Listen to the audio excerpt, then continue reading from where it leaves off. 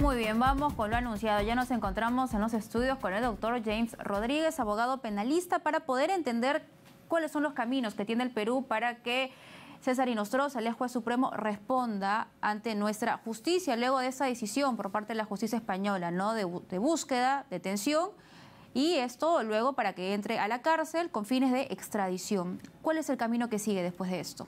Muy buenos días y como siempre un gusto estar con ustedes, a través de ustedes, a todo el Perú. Conversábamos en este mismo canal eh, hace unas dos, tres semanas atrás sobre la necesidad de que la Procuraduría del Estado solicite al gobierno español la ubicación y captura del ex eh, juez supremo César Inostroza. Y este es un pedido y en realidad una obligación y deber de la Procuraduría que ha cumplido con fundamentar mediante un documento al gobierno español. Y este gobierno español, con fecha 28 de junio, si no me equivoco, ha emitido una resolución en donde efectivamente ordena la inmediata ubicación, captura e internamiento en una cárcel pública del gobierno de España con fines de extradición al señor César Inostroza. Este es el fin del procedimiento de un tema de extradición en base al tratado bilateral que existe entre el gobierno peruano y el gobierno español. Ahora lo que queda es que el señor Inostroza no se fugue de España, y sea ubicado por la autoridad y entregado a las autoridades peruanas para ser remitidos a nuestro país y rinda cuentas a la justicia, donde finalmente él también perteneció. Los caminos sin duda han sido algo sinuosos, ¿no? Porque el ex juez supremo siempre ha estado presentando distintos tipos de recursos, ¿no? Que la justicia española ha terminado de denegarlos. Uno era el asilo político y también la protección subsidiaria, ¿no? Que había solicitado esto desde el 11 de diciembre del 2018. ¿Existe otro recurso legal que puede hacer uso el ex juez para seguir dilatando el proceso? Legalmente casi ya no existe un recurso dilatorio, porque no olvidemos que el ex juez supremo manifestaba que se trataba de una persecución política, lo que ha quedado totalmente descartado, dado de que han pasado varios gobiernos en nuestro país y la solicitud de extradición se mantiene. Así también ya no existía un recurso, quizás algún recurso de amparo pero si la suerte del señor Nostroza ya se encontraba echada al haberse denegado todos los recursos legales dentro del sistema del gobierno español, entonces creo que la Procuraduría ha hecho su trabajo y ahora creo que la autoridad española no, no debe demorarse mucho en la ubicación y captura que esperemos que no se haya fugado a, otra, a otro gobierno o a otro estado de, la comunidad europea. ¿no? Y también otro detalle que sin duda debe ser tomado en cuenta por la justicia española, ¿no? que es el Congreso de la República que votó a favor de esta acusación constitucional presentada por eh, la entonces fiscal de la Nación, Zoraida Ábalos, ¿no? Así es, creo que algo de 90 votos aproximadamente, eh, cero en contra y algunas abstenciones, se logró aprobar el pedido de lo que era el levantamiento ¿no? y que se sea juzgado por los temas de peculado,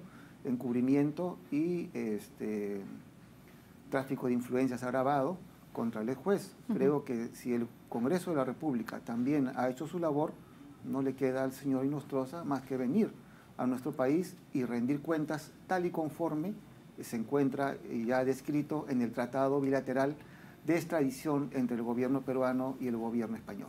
¿Y cuánto tiempo puede tardar para que César Inostroza esté acá, en nuestro país? Yo siempre he sido muy prudente en manifestar de que los temas de extradición son temas muy delicados y tienen una rigurosidad muy implícita, de tal manera de que va a determinar también la voluntad del extraditado. Si el extraditado se fuga a otro país de la comunidad europea, va a ser un poco difícil que la autoridad española lo pueda capturar porque tendría que irse o tendría que recurrirse a un, a, un pedido internacional ¿no? de la Interpol en todo caso. Pero eh, el señor Inostroza también puede allanarse finalmente a la extradición y venir a nuestro país a rendir cuentas. A ver, eh, en el hipotético caso que él se fugue, es decir, tendríamos que tener un proceso de fojas ceros porque él puede pedir en ese nuevo país solicitar asilo, nuevamente la justicia tendría que responder. O sea, ¿Hay ese peligro o no? Ya no, porque él estaría huyendo de la justicia, ya sería un prófugo de la justicia. Y en ese caso ya entra a intervenir directamente la Interpol, quien a través de un oficio de ángulo rojo, de prioridad 1, él debería ser ubicado y capturado y entregado a la autoridad peruana, es decir, a la policía peruana a la policía de Interpol de Perú para que sea trasladado aquí a nuestro país y en, un, en una situación de, de garantías constitucionales, de un debido proceso, él se defienda y finalmente la Fiscalía sustente su acusación y un juez determinará su absolución o su sentencia como corresponde. Y si hablamos de, porque seguramente el ciudadano puede eh, pensar y decir por qué hay distintos procesos, por qué hay distintos plazos, qué sucede en el caso de Alejandro Toledo, por ejemplo, en los Estados Unidos, que tiene un determinado proceso y tiempo, qué sucedió con Alberto Fujimori en Chile, ¿no? que también tuvo otro tiempo, y qué sucede en España. No sé si usted nos puede explicar para que el ciudadano pueda entender. Cada proceso de extradición es firmado entre el gobierno peruano y el Estado donde vamos a hacer el tratado. Con España es un tratado determinado, tiene plazos determinados. Con Estados Unidos de igual manera y de igual forma con Chile y otros países. Por ejemplo, con Israel no existe tratado de extradición, donde si el señor Alejandro Toledo se fugara a Israel o la señora Elian Carr, va a ser casi imposible un tema de tratado de extradición. Y aquí lo que conversábamos fuera de cámaras, que el señor Alejandro Toledo, como es de conocimiento público, a través del consulado peruano, ha solicitado la renovación de su pasaporte peruano. Y es, creo, algo muy sencillo entender de que el pasaporte es el único documento que sirve para trasladarse de un país a otro. En consecuencia, espero que la Procuraduría esté haciendo su trabajo porque es de entenderse de que el señor Alejandro Toledo si está solicitando la renovación de su pasaporte es para salir de los Estados Unidos y no para irse a Orlando a visitar. ¿no? Entonces es muy probable que también él esté pensando fugarse de Estados Unidos, dado de que los recursos que él ha empezado o que había empezado a tramitar ya se están venciendo y parecería que la suerte también del señor Alejandro Toledo está echada, dado de que la justicia norteamericana ha decretado que es un caso pasible de extradición. Y de acuerdo a los avances, no hablemos acerca de los tiempos porque cada país tiene un tiempo distinto y un procedimiento, pero según los avances en el estadio en el que se encuentra, digamos, cada etapa, cada foja de extradición de César Inostroza y por el otro lado de Alejandro Toledo, que tiene pendientes el caso de Coteva y el de Odebrecht, ¿cuál es más cercano que llegue antes? ¿Cuál podría llegar antes según el estadio en el que se encuentra? En el caso del señor Inostroza ya está la ubicación y captura, ya es solamente tiempo de traslado de España a nuestro país. En el caso de Alejandro Toledo, él está interponiendo una serie de argucias eh, legales, como por ejemplo un habeas corpus, el cual ha tenido ya una respuesta, una respuesta negativa, y que está esperando ir a la Corte Suprema para una forma de revisión o una casación, o que se llamaría acá una apelación pero creo de que ya son recursos que van a ser, si han sido declarados desde su principio improcedentes, ya la suerte del señor Alejandro Toledo como manifiesto está bastante clara y que también él argumentaba temas de persecución política, lo que ha quedado totalmente descartado. Y en el caso del señor Toledo es el secretario de Estado quien finalmente, la parte ejecutiva es decir, la parte política ejecutiva del gobierno norteamericano, debe aprobar este tema de extradición, ser detenido con fines de extradición y entregado posteriormente a la autoridad peruana para que sea retornado a nuestro país a rendir cuentas a la justicia peruana. Y que también está, eh, digamos, está pendiente de rendir cuentas a la justicia también es su esposa, ¿no? Eh, su esposa, es primera dama, Elian Carr, pero ella sí tiene ciudadanía israelí. Entonces, ¿cómo sería en ese caso con ella?